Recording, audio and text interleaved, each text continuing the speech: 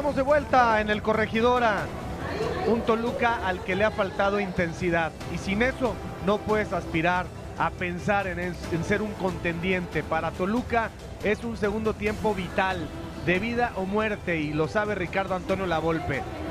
Y del lado del Querétaro, el ABC de Bucetich, cerrar los espacios cuando el rival te ataca, replegando correctamente, con muy buenos relevos, con muy buenas coberturas y ampliando los espacios con un hombre como Sierra que vive de verdad eh, momentos de luminosidad futbolística e intentando generar ciertas jugadas de ataque con las limitaciones que tiene el equipo de Víctor Manuel Bucetich, que todo el mundo sabe necesitará ser reforzado de manera muy estratégica y ampliamente para el siguiente torneo y evitar el asunto del descenso. Par de intervenciones de Gil Alcala, buenas en las exigencias de parte de los rojos, que ha sido un equipo, insisto, poco intenso. Me parece que eso le falta al Toluca.